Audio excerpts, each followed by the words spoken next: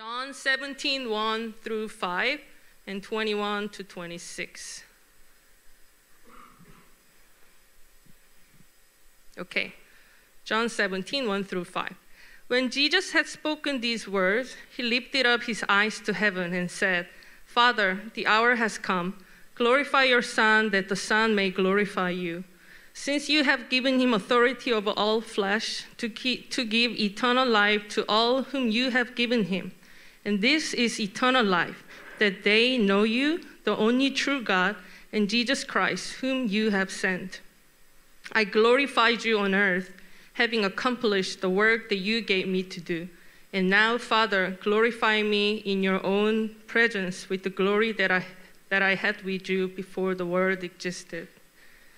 Verse 21 that they may all be one, just as you, Father, are in me, and I in you, that they also may be in you, may be in us, so that the world may believe that you have sent me. The glory that you have given me, I have given to them, that they may be one even as we are one. I in them and you in me, that they may become perfectly one, so that the world may know that you sent me and loved me them, loved them even as you loved me. Father, I desire that they also, whom you have given me, may be with me where I am, to see my glory that you have given me, because you loved me before the foundation of the world. O righteous Father, even though the world does not know you, I know you. And these know that you have sent me. I made known to them your name, and I will continue to make it known, that the love with which you have loved me may be in them and I in them. Amen. Thank you, Luna, for again for reading the passage for us. And um, before we get into the actual passage, I'm going to be doing a little bit of teaching today, if that's okay. So if you want to take notes, please feel free to do that. There is a prayer that uh, I pray almost at the beginning of every year. It's also a prayer I pray at the beginning of every birthday. And I don't know if you have prayed this before, but it goes something like this Lord, I pray that I would be more intimate with you this year than last year. I pray that I would love you more this year than last year. I don't know if you've prayed something along those lines, but that's kind of automatically what, what comes to mind for me. I prayed that again at the beginning of this year. God, I want to love you. I want to be more intimate with you. I want to know your heart more this year than last year. By now, at the age of 34, unashamed of that, you know, I should have loved God, you know, accumulation of every year, right? You know, you know how it works, but more often than not, if you're like me, at the end of the year, when I reflect on my year, I feel a bit discouraged. I'm like, man, did I really get to know God's heart more? Was I really intimate with God more this year than last year? But I still pray it. I still pray. My birthday's in June, so when I pray it again, you know, it's kind of like half, you know, halftime prayer or whatever. But um, how do you guys experience intimacy with God? What does it look like for you? Maybe you're the type who likes to just walk and talk with God, or more like walk and think with God, right? Let's be real, right? um, maybe you try to spend alone time with the Lord where, you know, you set apart the time, you get the right background music, you know. Um, you know, you get your favorite hand drip coffee, from the, for me it's Ethiopia G2. And you got your, your, your Bible open, you, you got your moleskin open, and real quick, you take a pause, you know, post it on Instagram real quick, and then like you try, you try to close your eyes to, you know, put out all the distractions, and you get into the Word, and you're reading, and you do all that. How many of you guys have experienced that, but you set everything up, you check off, you check off all the right boxes, but in the end, you still feel disconnected. It's like, man, I'm doing all the right things, but like, uh, even at best, I learned something. I read the Bible. Oh, I, I, I learned that. Maybe even retained it or memorized it. But, you know, your response to it, when you, when you pray after, it, it, it just doesn't seem to flow out. And you do this for a while, and you realize the more and more you do it, my, atten- my attention span, uh, I'm on the struggle bus regarding that, and I get so easily distracted. You do this for a while because you're like, I'm gonna push through, I'm gonna keep doing this, and you realize, man, I've been doing this for months now, and you just feel like you're on maybe autopilot. I should be doing this. But after some time, it's like, man, why do I feel so disconnected still? Like, isn't this how you're supposed to do intimacy with God? And I share this with you because these are my external processings of my heart at times. Many times, actually. You know, especially in this uh, COVID era, age, the past couple years, you know, like, there are pros and cons to you know, our spiritual walks, our spiritual formation. The, if you want to look at optimistically, we hear things, and we, I've said this too, we share this too, where it's like, Lord, you know, we believe that COVID is a time where God is perhaps setting apart for you so that you don't have to use church programs as a crutch, so that you can establish your intimacy with God. This is an opportunity for you. That's the optimistic view of it, right? And Ideally, brothers and sisters, ideally, I want that to be true in my life. Yeah, you're right. It is an opportune time. I am at home. I do have more time. I do have less excuses. You know what I mean? But if I'm going to be honest with you, that's an ideal, but it's been hard. It's been hard. You want to feel connected, but because of COVID, is not really helping. Uh, on the last day of 2021, we had a service here. Some of you guys tuned in online, some of you guys came. We had a worship service, and we had a time of reflecting on 2021. Many of you guys did that.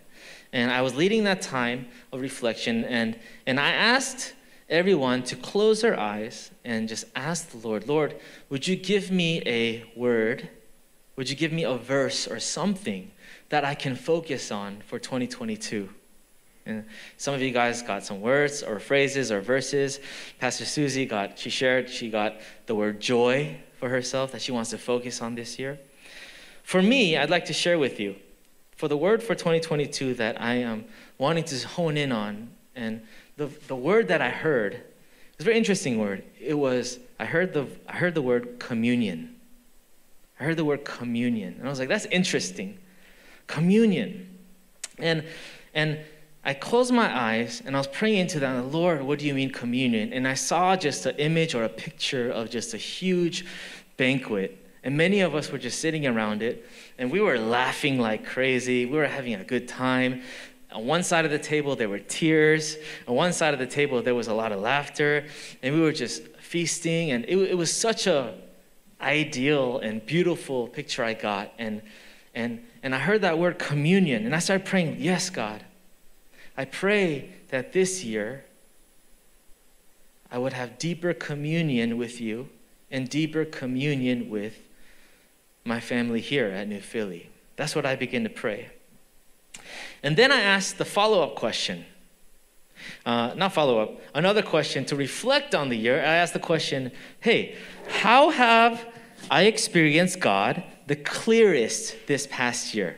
Right? How have you experienced God the clearest? Like, whoa, God was moving, like, like I experienced God the clearest this past year. And the, all the examples I wrote down and some of the some of the answers that I heard is very interesting. The clearest that people have experienced God, including myself, was always in the context of community. It was with people. For a lot of people, the highlight of the year where they experienced God was at the retreat when we sought God together. For some people, it was a sacred moment where they got prayed for or prayed with people. You know, there was there were key moments, even on my list, there was times when there was this very important time, and I don't have time to go into detail. I had, you know, dinner with Pauline and I, we had dinner with Jacob and Amy one night, and then it was such a significant moment. We got to pray for each other, and it was such a sweet time, and I felt God's presence so strong. In the context of communion, And it got me thinking maybe that's it. Maybe that's where I can know God more with His people. Maybe I feel frustrated and not experiencing breakthrough in my intimacy with God because I'm not necessarily pursuing it with people. Maybe that's where intimacy is found. Maybe that's the spark that we need at least. So, brothers and sisters, if you desire to know God more and be more intimate with Him this year, perhaps this message will interest you. The title of today's message is called Divine Communion. Divine Communion. All right? You know, when we feel like we're on autopilot, when we feel like so disconnected with God, even when we're doing the spiritual disciplines, perhaps I encourage us, one of the best things to do is actually take a step back, all right, and recalibrate our hearts and think about our whys. Think about our attitudes and, and our perspective toward intimacy. Am I, am I, do I want to be intimate with God because I should?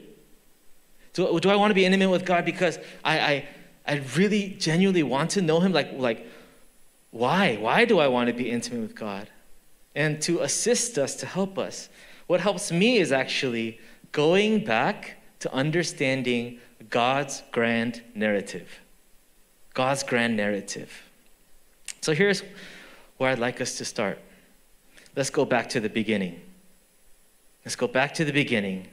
For those of us who are doing one year Bible reading plan, where do we start? We start in Genesis, all right? Don't worry, I'm going to get to John 17. Don't worry, all right? why, why make Luna read that, all right?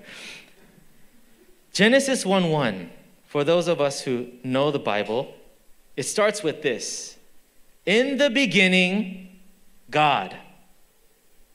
Let me just start right there. In the beginning, God. Before I get into in the beginning, God created, let me just start real quick. In the beginning, God meaning before anything existed, before anything was created, there was God, the uncreated God. I'd like to teach you a fancy word that I learned in seminary that actually really helps me understand God. And this word is called God's aseity. Everyone say aseity. I learned this in, in, in, my seminary class, and then every time our professor opens up the class in prayer, he always says, Lord, Father, Son, Holy Spirit, we thank you that you are an ase God. He always says, ase God. Ase, Latin. A means from, se means from oneself. From oneself. The aseity of God means this that God is sufficient to himself. He is independent of anything outside himself. God is uncreated. God is eternal. God just is. And that means, that gives us understanding when God says, I am who I am. God, who are you? I am. Nobody else can say that but God. Aseity of God, the uncreated one. As a Christian, we believe that God is the triune God, three in one God the Father, God the Spirit, and God the Son. And God is the unity of three. In our statement of faith, I'm going to put it up here on the slide, we have this statement of the triune God. I'd like us to read it together out loud. Right? One, two, three. We believe in one living and true God, eternally existing in three persons Father, Son, and Holy Spirit. The uncreated God has existed in relationship with himself for all eternity. And each person of the Trinity serves different functions while being perfectly coexistent, co equal, and co eternal. Amen. This is God, our God, whom we worshiped together this morning, our triune God. And when we think about who God is, the aseity of God, the triune God, here's what comes to mind. It's fascinating. Before man was made, before anything was made, unity existed. Before anything was created, guess what? Relationship existed. Before anything was made, guess what existed? Intimacy was present. It's not that God made man and then intimacy started. No, intimacy always was there. It's who God is. Intimacy. Doesn't that put a new meaning, a far deeper meaning on that truth? We have heard all the time, Someng and Luna, you guys are love this. God is love. God is love is the name of their branding company, right? God is love. He didn't become love after he made something to love. God has always been love because God has always been relationship and intimacy. That's mind blowing. That's wow. This has always existed love and intimacy. And then what happens? God is there, He creates. Let's fast forward to day six. Day six, it says this God said, mind blowing, God says, let who? Let us make man in our image after our likeness, and let them have dominion over the fish of the sea, over the birds of the heavens, over the livestock, over all the earth, and over every creeping thing that creeps on the earth. God says, Hey, this is who I am before creation. And then He made man. And He said, Hey, let's make man in our image and likeness. Brothers and sisters, why do you and I have longings for connection? Why do you and I have longings for relationship and intimacy and communion?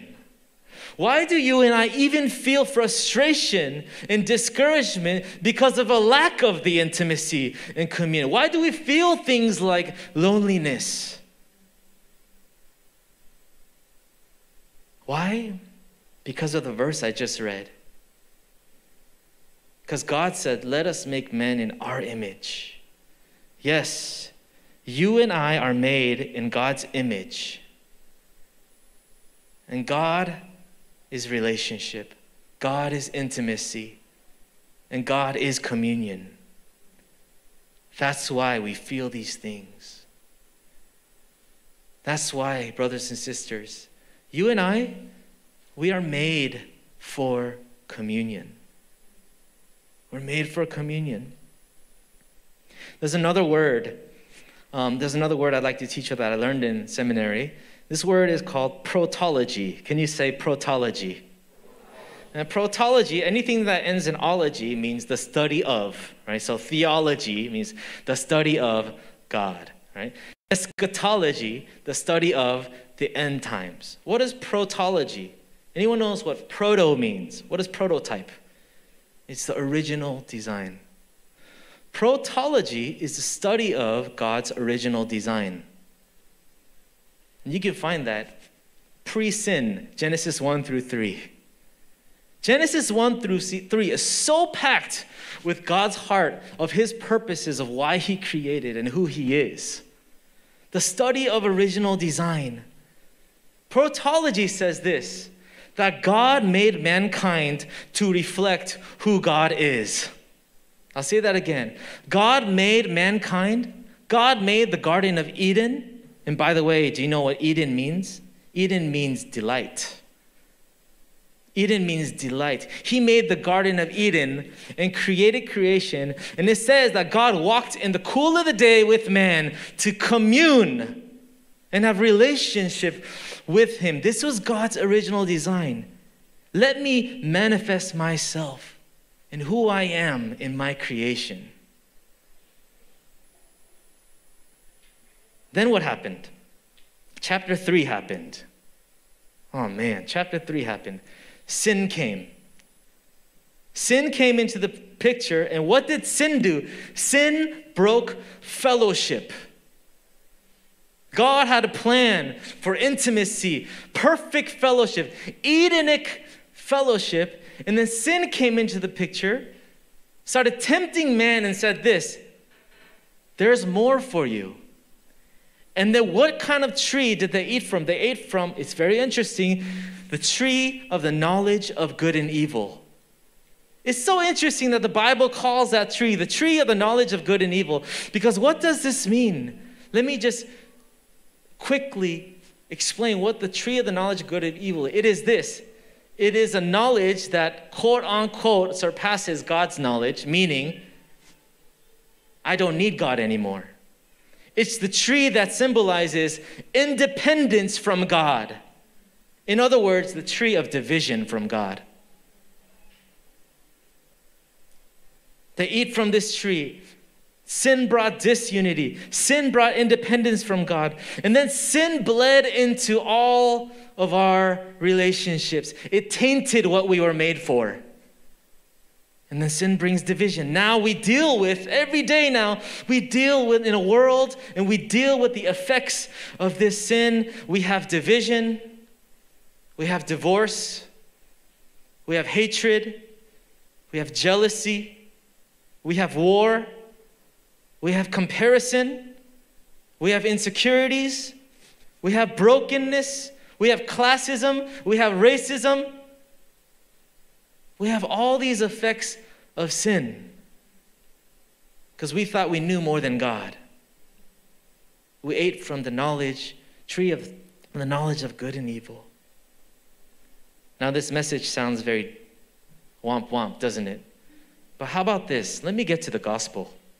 Let me get to the good news. Here's the good news God, his, you know what he's doing? He's restoring his original order. God wants to, his, the passion of his heart is to restore the communion that he so desires. So, what does he do? The Father sends his one and only Son he sends his one and only. Jesus becomes incarnate, becomes man. He takes on the sin of man, nails it to the cross, and he dies on our behalf. And Christ is sent on a mission. What is Christ's mission? Is to rest- ultimately is to restore communion and intimacy and have us experience this divine communion with God.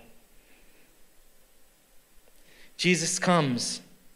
I love this narrative. I love talking about this narrative. Jesus comes and he lives amongst man. And three years before he dies upon the cross, guess what happens? He's ready to preach. The time has come. He's ready to do miracles. He's ready to bring in the kingdom of God. And right before he does any ministry, what happens? The Trinity has a real huddle, real quick. They have a huddle. Matthew 3:16 says after being baptized Jesus the son came up immediately from the water and behold the heavens opened and he saw the Holy Spirit the spirit of God descending as a dove and lighting upon him. And behold a voice the father's voice from heaven said this is my beloved son with whom I am well pleased I see a divine reunion of some sorts a divine huddle Jesus is empowered by the Holy Spirit. The Father says, I'm proud of you, my son. And then break. Jesus goes, boom, healing, miracles, preaches the kingdom of God. And then the, we see the Godhead at work to bring salvation and to restore original design. Boom, let's do this. Boom, let's do it. And Jesus, he goes, read the scriptures. It's so exciting. Brothers and sisters, if there's, I only have one main point today. And the main point is this you and I, we are made. We are made for divine communion. We have these feelings and desires because we're made in His image. We are made for divine communion. And we have to, we have to grasp the weight of God's desire for this. This is where it starts. We have to understand, we have to pause and reset. If you're going on autopilot, we have to reset and grasp the truth, grasp and understand God's heart that He longs for you and I to experience this divine communion. He wants it more than we do. How badly does He want it? How badly does He want it? We look to Calvary. That's how bad He wants it.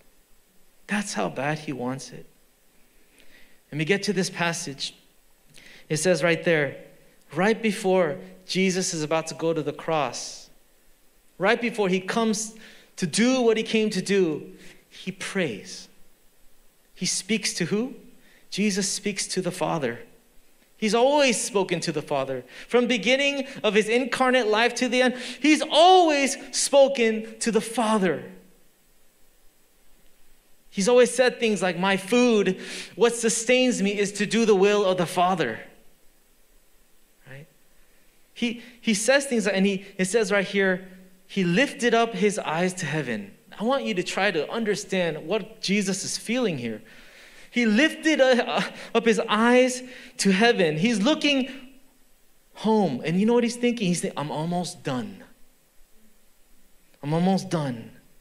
And he says, Father, Abba, Father, the hour has come. Glorify your Son, that the Son may glorify you. The hour has come. We can't just read that like it's nothing. Jesus is saying, Father,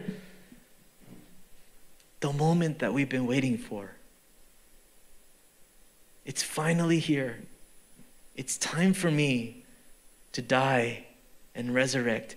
It's time for me to finally make a way to restore communion and intimacy. And with the context of what I just shared today in God's narrative, let me just read verse 20.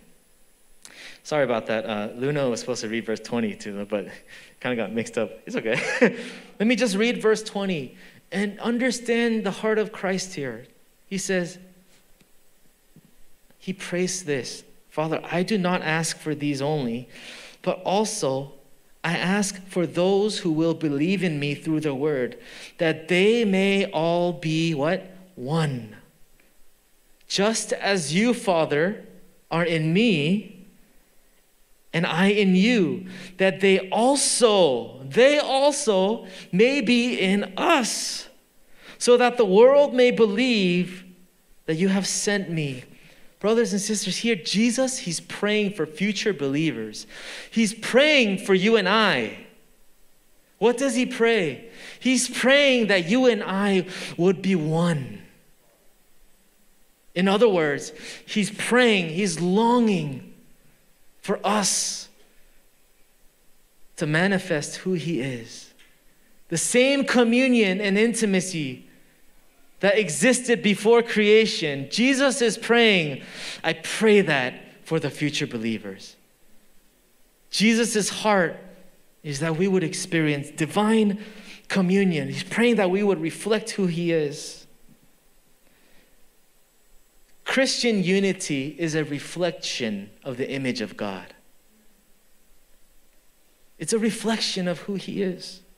When we choose to love one another, brothers and sisters, when we choose to serve one another, when we choose to pursue relationship within this diverse community, when we choose to do this, what are we doing? We are reflecting the image of God. And when we reflect Him, guess what? We experience Him. We experience intimacy. That's what I realized in this End of 2021 reflection. I experience intimacy with God when I experience divine communion with His people because we are made in His image. Does that make sense, guys? This is kind of mind blowing, but it's like, oh, like, I want it. There's something in me. I was made for something divine like that. I was made for the divine. If we don't pursue this, if we don't understand this foundational theology, what will motivate us to pursue relationships from people so different from us? You know? Where will the practice of selflessness, self giving, generosity, and service be if we don't pursue this? Our desire your desire, my desire to be one with God and experience intimacy with, with God, it must translate into our desire to be one with one another in Him. All right? I want to read this quote by Catherine LaCugna. It's a very, it's a quote that's like, oh, it makes me feel uncomfortable, but I know it's true. It says, if we cannot enter into a life of love and communion with others, then we cannot enter into divine life. Think about that. Now, I'm not saying, I'm not saying, you know, we need a healthy independency. You know what I mean? Like that's that's another sermon. I'm not saying that you we need our individual intimacies with God. That's not what I'm saying. All right? There's a limit to the experience of intimacy with God when we try to live our Christian lives so independently and isolated from the body of Christ because it's not a reflection of who God is. It's not who He is. Verse 25 says, Father, I desire, oh, Jesus, Father, I desire, I long for that they also, whom you have given me, may be with me where I am to see my glory that you have given me because you have loved me before the foundation of the world. Before the foundation of the world. Jesus, again, he's saying, I want them to experience what I experienced before the foundation of the world, before creation. This prayer is charged with longing here. This is bitter, it's like bittersweet, Jesus. It's like, time has come, Father. Uh, I'm about to go home, be reunited with you. It's like so sweet, but also bitter because he's just experienced that communion with his disciples. And he's praying that the disciples would carry it forward. All right? That's why we have church today. If the longing of God's heart is unity, then guess what? Just like in the Garden of Eden, Satan will not just sit and watch. If God desires Edenic fellowship, Satan will tempt us to eat from the tree of the knowledge of good and evil, life independent from God in his ways. He will attack. He will use sin to bring disunity and division. How would Satan bring disunity and isolate us? How? by the way we view one another, by the way we treat one another, by the way we think about one another. Once again, where will the practice of selflessness and self giving be when we don't pursue this? Yeah. If I were to sum up the heart of Jesus when he said this prayer, and I'm done here. It says this In this prayer, the heart of Jesus is this the communion and intimacy that Jesus had with the Father and the Holy Spirit is the same communion and intimacy he desires for us to walk in.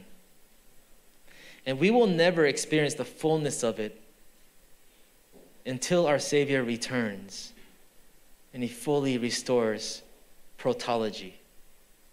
When he returns and restores original design we will experience Edenic fellowship again.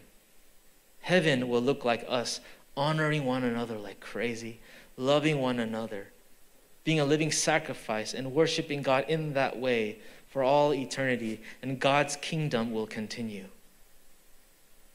But we pray until the day He returns Lord, let your kingdom come. Let your will be done, Father, here on earth as it is in heaven. Christ went to great lengths to make a way for us that we can have this. Let's not take it for granted. And He has given us, just as the Holy Spirit was given to Jesus to do ministry, He has given us the Holy Spirit to empower us to pursue this as well. Man, what does this say about you and I? And for those who feel a sense of loneliness, those who feel just this desire to belong and be seen, I want to tell you this. This narrative, what does this say about you? It says that you're worth pursuing.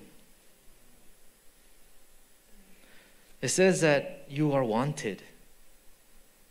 You are invited into the highest level of intimacy. You're made for it, it's your portion. It says that we are worthy. We are worthy to join in on this. It's like, it's like I imagine it to be like adoption.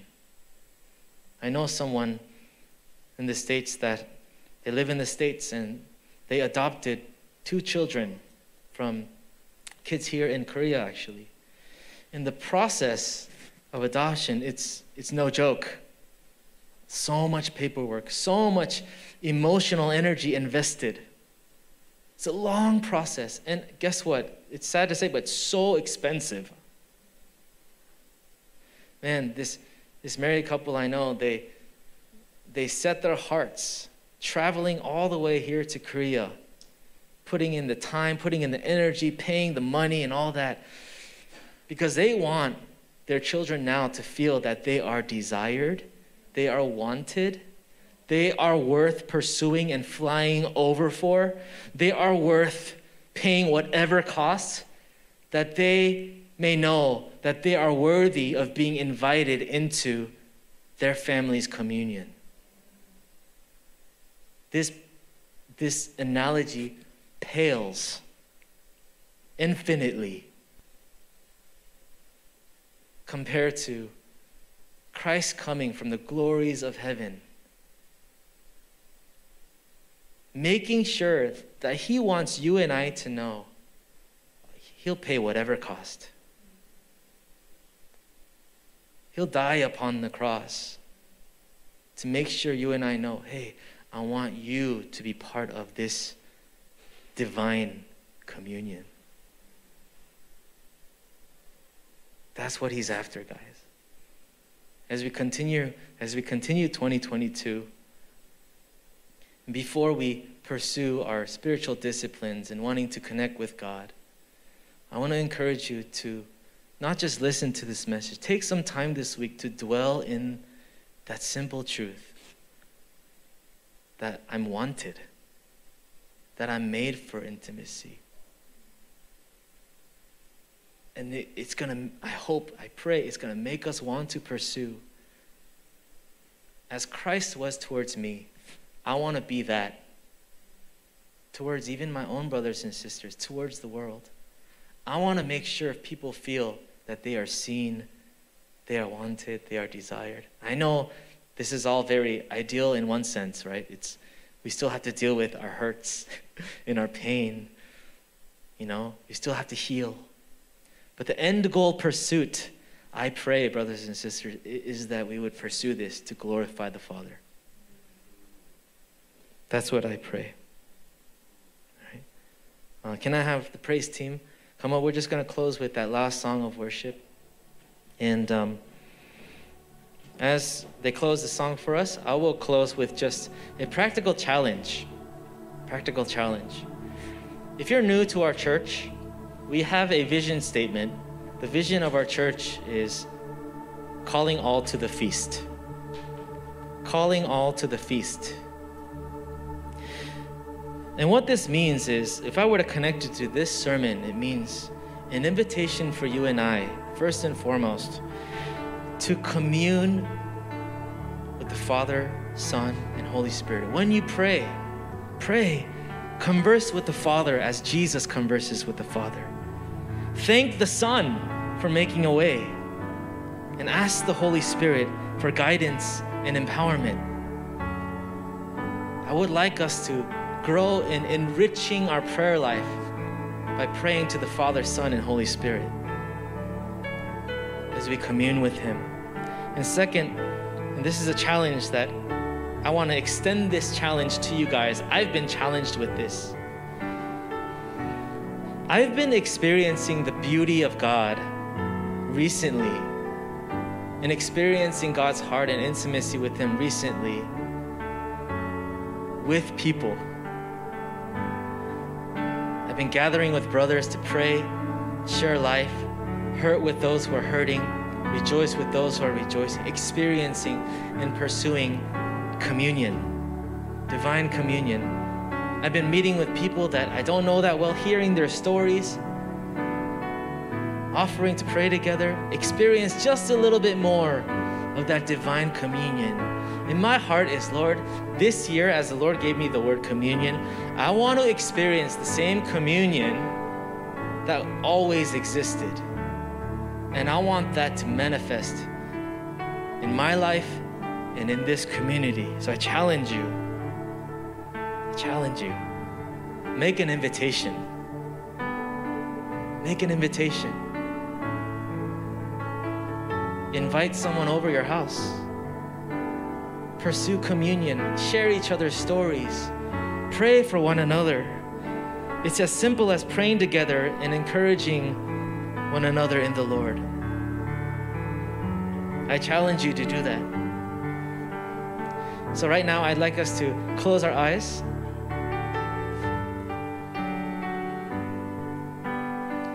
And give you a moment. You don't have to be loud, but speak to the Lord. And simply pray, God, I pray that I would experience divine communion in my life. I pray that I would experience divine communion in my life. And God, would you highlight to me who should I reach out to just as you have reached out to me?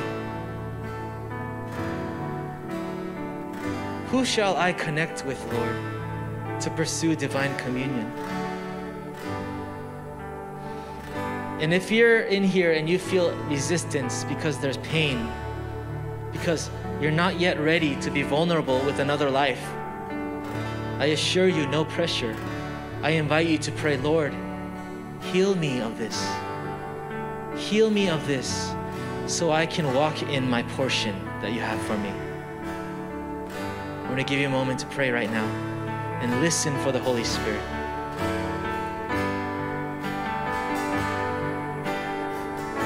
Us, Lord. Help us, Holy Spirit. Make our hearts tender and sensitive to this majestic, this glorious inheritance you've given us.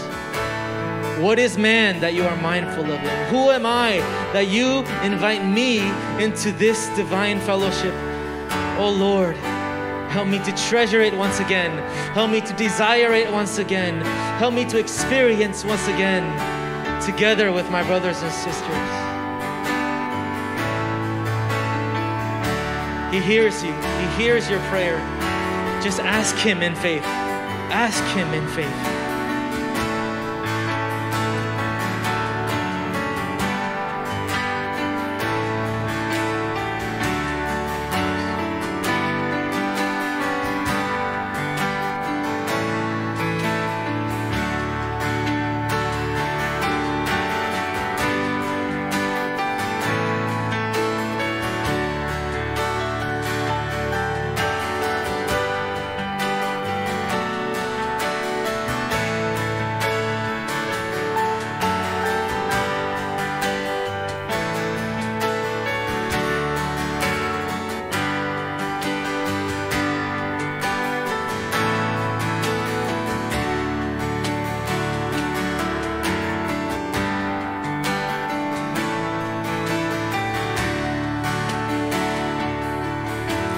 Can rise to our feet. Before we close this with the closing song, I, I feel led to invite us into a corporate prayer. Can we pray for this family? Can we pray together in one voice with this community that God would manifest Himself here, that we would see the face of God here in this community? Let's just ask the Holy Spirit right now. Lord, help us to be that safe, that authentic, that pure community that reflects your glory in who you are, Lord. Would you manifest that here in this community? Let's pray together, church.